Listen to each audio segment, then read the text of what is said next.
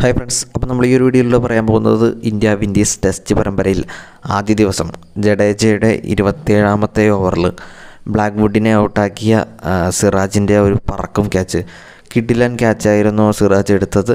ചാടി എടുത്ത ആ ഒരു സിറാജിന്റെ ക്യാച്ചാണ് ഇപ്പോൾ വൈറലായിക്കൊണ്ടിരിക്കുന്നത് ജഡേജ എറിഞ്ഞ ഇരുപത്തേഴാമത്തെ ഓവറിലാണ് ഈ ഒരു കിഡിലൻ ക്യാച്ച് പറന്നത്. അപ്പോൾ നമുക്ക് ആ ഒരു വീഡിയോ കാണാം ദേ. ഇതാണ് സിറാജ് പറന്നു പിടിച്ച കിഡിലൻ ക്യാച്ച്